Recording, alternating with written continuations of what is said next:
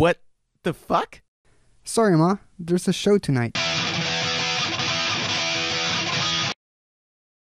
Do we have to do this, Mary? Of course, darling. We deserve it after 50 years of service. Amen.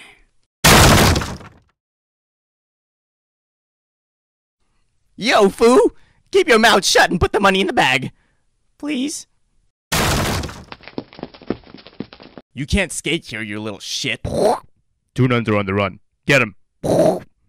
Nuns? Hey, come back here! Sisters, follow me.